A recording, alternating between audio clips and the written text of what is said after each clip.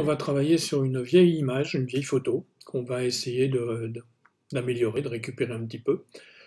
Alors, on va ouvrir le fichier, le fichier ouvrir, c'est image originale. Alors moi j'ai plutôt image originale, je touche pas, je vais chercher ma copie. Image copie. Et j'ouvre. Voilà.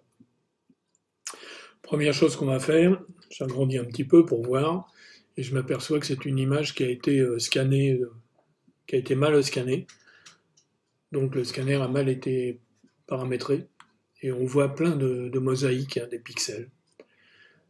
Donc on va essayer d'éliminer un petit peu ça. L'idéal, ça aurait été de la scanner correctement à une meilleure définition. Ah, la définition était trop importante, trop grande, et donc on a plein de mosaïques.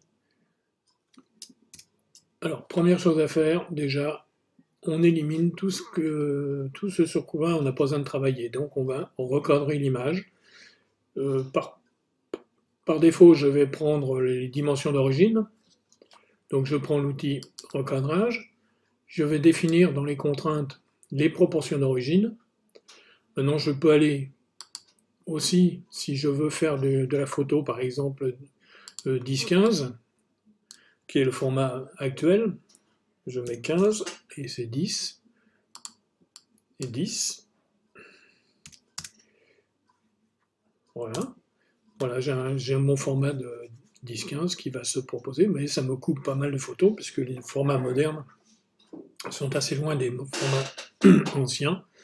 Donc je vais rester, moi, avec le format d'origine. Proportion d'origine. Voilà. Une fois que j'ai les proportions d'origine qui sont fixées, je peux faire ce que je veux. Je ne vais pas changer ces proportions-là. Donc je vais recadrer de manière à ne plus voir le cadre noir, le cadre blanc, pardon, et essayer d'être au plus proche de mon image. Voilà, je vais éliminer tout ce qui ne m'intéresse pas, quitte à les refaire en fin de, fin de travail. Hein. si on veut refaire un cadre blanc, on peut se refaire un petit, un petit cadre blanc autour. Voilà. Et j'applique. Une fois que j'ai fait mon recadrage, je vais essayer d'éliminer ou de réduire un petit peu l'effet de mosaïque provoqué par le, le scanner pour faire ça, on va jouer sur, le, la résolution et sur la taille de l'image. Donc je vais dans Document, redimensionner le document, je garde le mode rééchantillonnage, parce que là je vais, vouloir modifier le nombre de mes pixels. Je vais, dans un premier temps, ici dans, dans la résolution, mettre 300 pixels par pouce, de manière à définir une, une résolution qui va très bien avec le, la, volonté d'imprimer.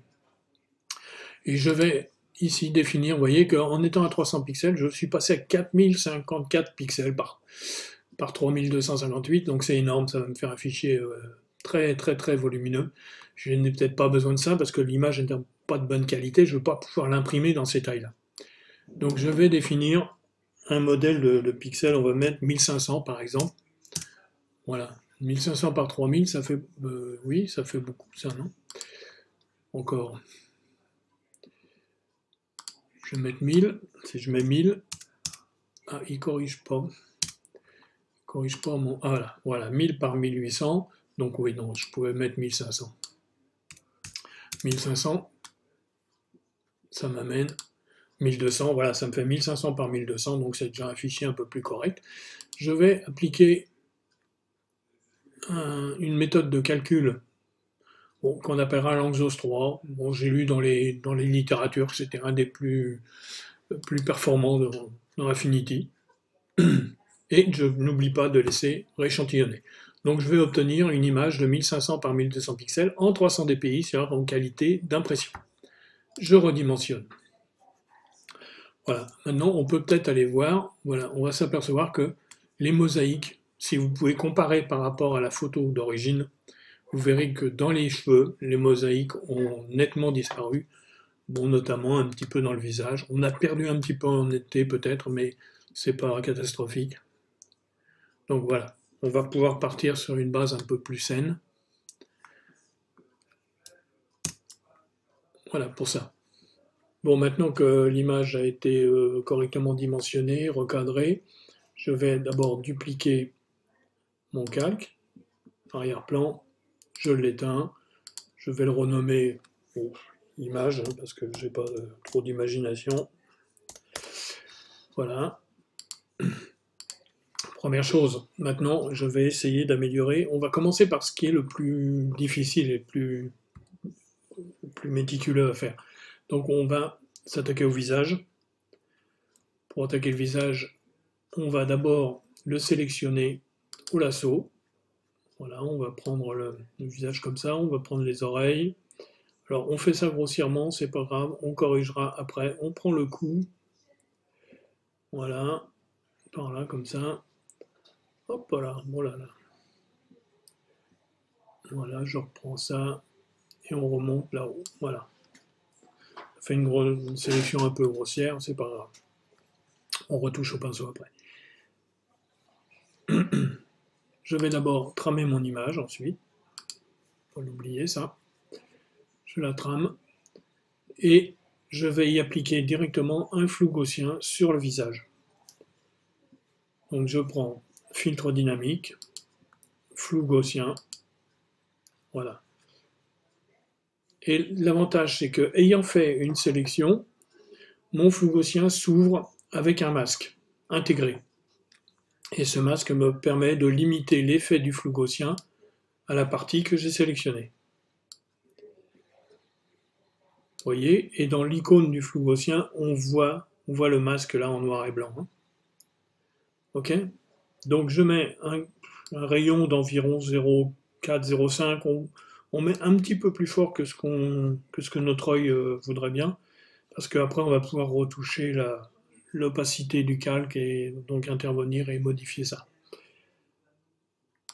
Je valide. Maintenant je vais, je clique sur le flou gaussien, je m'assure que je suis bien sélectionné et je vais chercher le pinceau. On va mettre du noir, de manière à ce que, déjà je supprime la sélection, et on va éliminer les zones que l'on ne veut pas rendre floues. Donc on va garder net, notamment les yeux, la bouche, les oreilles, les cheveux, les choses comme ça. Donc on va chercher un pinceau, on met un flux à 100%, un pinceau noir, et on va dans les yeux, dans les yeux en étant sûr d'être bien sur le masque, hein, et on peint dans les yeux. Et on rend les yeux, on redonne de la netteté aux yeux. Alors l'idéal, ce serait d'avoir une dureté dans les 80%. Voilà, donc je vais recommencer mon, mon masque là. C'est un peu grand. Voilà, je vais masquer comme ça, voilà. Je redonne de la netteté sur les yeux. Hein. Hop. Ok. Je vais réduire un peu ma taille. Je vais donner sur la bouche, autour de la bouche.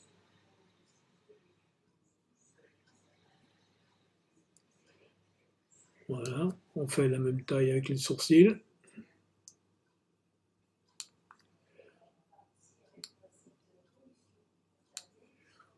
On va agrandir un petit peu pour passer sur les oreilles. Alors là, on essaye de ne pas déborder. Et en même temps, on en, profite pour passer dans les cheveux là-haut, la partie principale des cheveux. On finira après. Voilà. Maintenant, on va prendre une dureté, un flux plus faible et on va venir faire les bords ici déjà le cheveu qui est ici, on va le rendre un peu plus net, voilà. Et en augmentant, enfin en diminuant la dureté, on va venir faire la limite des cheveux. Voilà, on va adoucir là.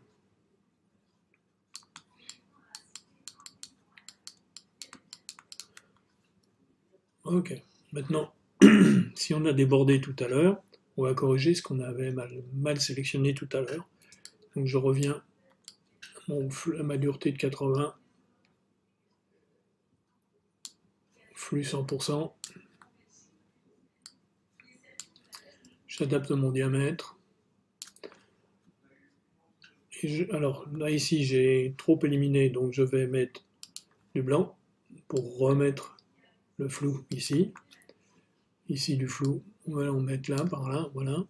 Je regarde le visage, apparemment il est correctement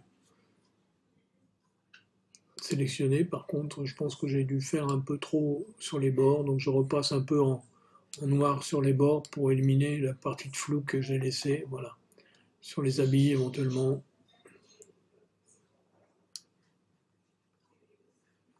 Voilà. ça me paraît correct. Donc on a légèrement flouté l'image. Maintenant, je peux ajuster l'opacité. Si je remets mon opacité à 0 sur le flou gaussien, vous voyez, l'image réapparaît telle qu'elle était. Bon, c'est à moi de choisir entre le 0 et le 100% l'opacité que je veux y mettre, hein, en mettant un peu la texture, voilà, en mettant dans les 50. Entre 50 et 60, ça me paraît correct. Après, c'est vous qui voyez. Hein. Ok, maintenant on va s'attaquer aux tâches sur le visage. Je vais en haut, je crée un nouveau calque et je vais apporter les corrections sur ce calque-là. Je vais le nommer correction visage.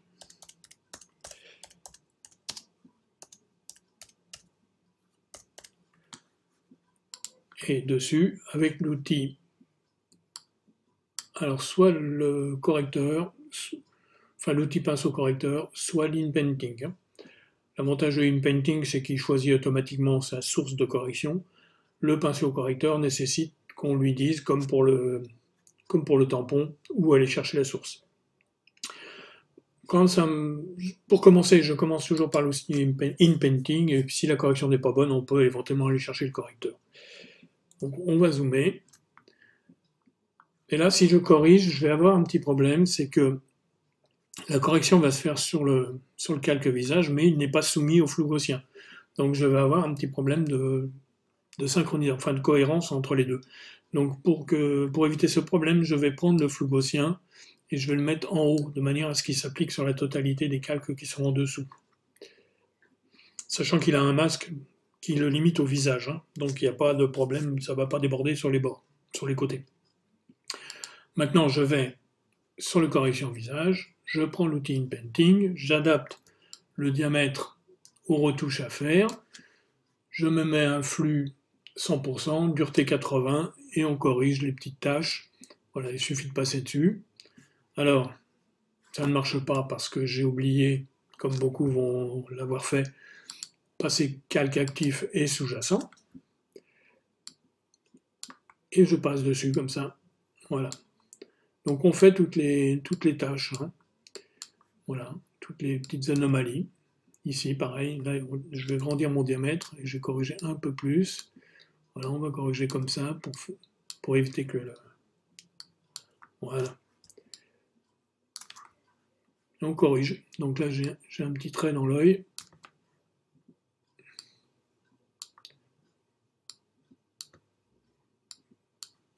Voilà. Et on corrige les petites taches comme ça. Alors je ne vais pas toutes les faire. Je vais interrompre l'enregistrement pour vous laisser le, temps de finir et je vous reprends une fois que j'ai tout terminé. Bon, maintenant on va éliminer les tâches qui sont sur le fond. Bon, je m'aperçois que les, les tâches sont différentes en haut et en bas, donc on va faire deux parties. La partie en haut qui concernera les grosses tâches et la partie basse qui concernera plutôt les, grains et les, les petites tâches. Donc, première chose, on va d'abord sélectionner au lasso, c'est-à-dire outil de sélection à main levée. On va venir sélectionner la partie haute en faisant le contour très proche du sujet, sans grenier dans le sujet. On fait le contour, on prend les grandes tâches. Voilà. Voilà on ferme comme ça. Je vais peut-être agrandir un peu, voilà, ça sera plus pratique. Ensuite, je vérifie que je suis sur le mode Ajouter. Je viens chercher la deuxième zone en haut qui est à peu près identique. Voilà, je fais le contour comme ça.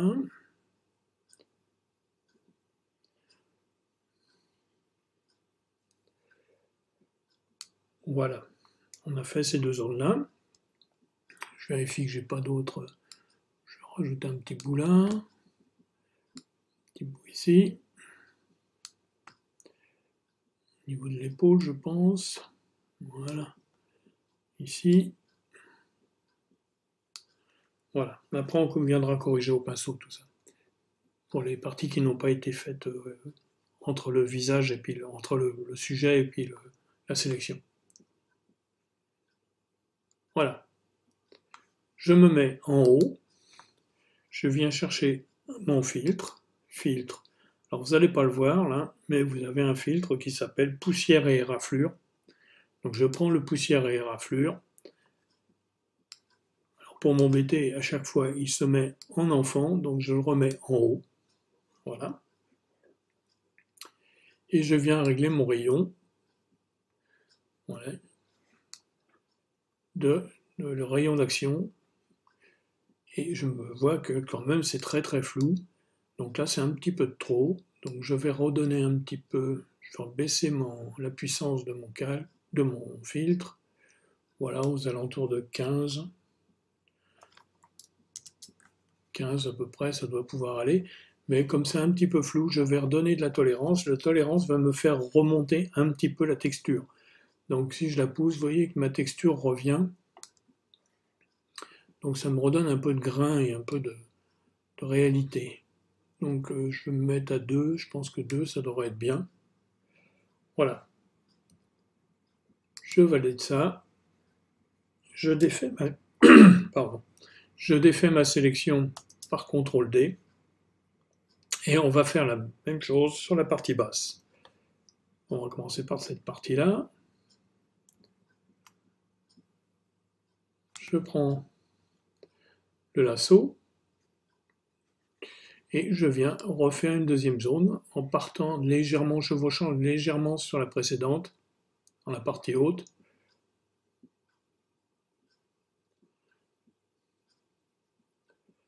Voilà, je longe le sujet.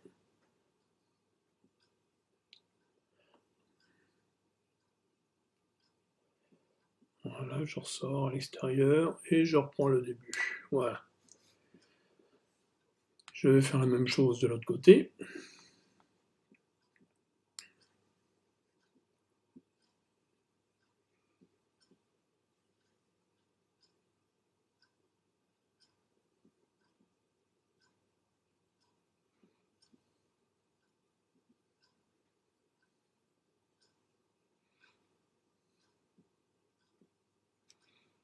Voilà. Je vais en rajouter un peu là.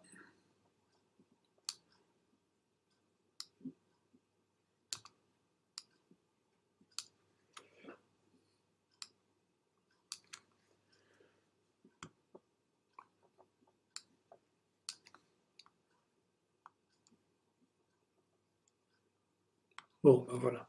Je pense que là, on est bien. Je vérifie que je suis en haut. Je viens rechercher le deuxième filtre. Pareil, poussière et éraflure. Il s'est mis en enfant.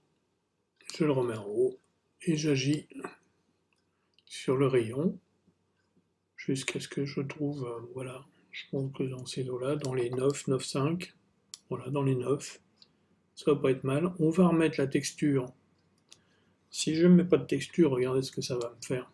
Voilà, ici dans la partie haute, vous voyez une espèce de petit grain quand même, alors qu'en bas c'est tout flou. Donc euh, on voit bien une rupture là, donc c'est pas, pas bon pour l'œil. Donc on va pousser un peu la texture, on va la mettre à 2 comme tout à l'heure. Et voilà, vous voyez que là ça s'est nettement amélioré. Je ne sais pas si plus. On peut mettre entre 2 et 3, quelque chose comme ça. Voilà, 3 c'est peut-être pas mal, ça va équilibrer. Voilà. OK. Je supprime la sélection. CTRL D. Voilà. Je vais donc ici renommer fond bas pour bien les différencier si j'ai besoin de revenir dessus. Et ici fond Alors un petit rappel toujours, quand on crée un filtre ou un réglage, si on part avec une, sélection au moment de la création, automatiquement le, filtre ou le réglage applique un masque intégré qui comporte la sélection. Donc la sélection sera activée, l'effet du calque ou du réglage se fera sur la partie sélectionnée et ne se fera pas sur l'autre partie. Ce masque, on pourra toujours y revenir avec un pinceau. C'est ce que je vais faire ici. Donc j'agrandis un petit peu. Donc je me mets sur la partie, on a commencé par le haut, donc je vais me remettre sur le haut.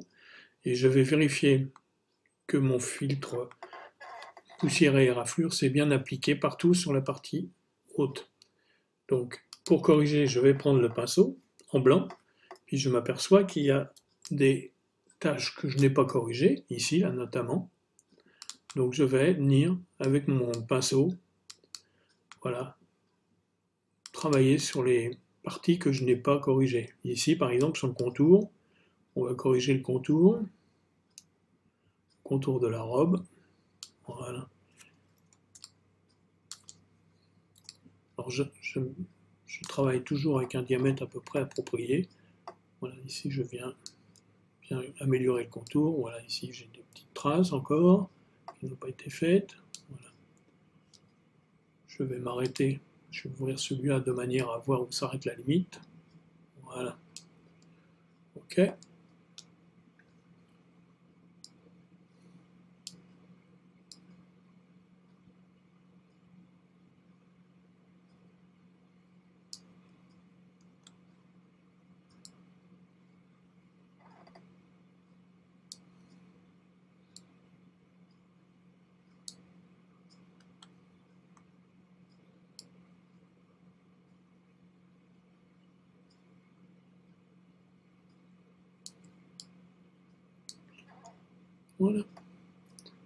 Partie haute, j'ai rien oublié.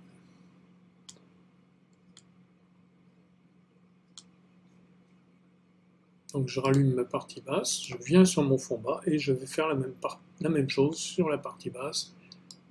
Venir vérifier que toutes mes modifier toutes mes corrections ont été faites.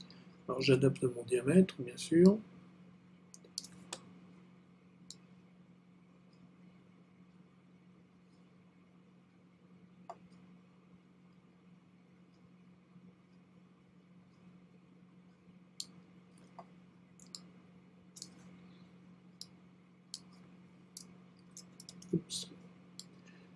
Voilà.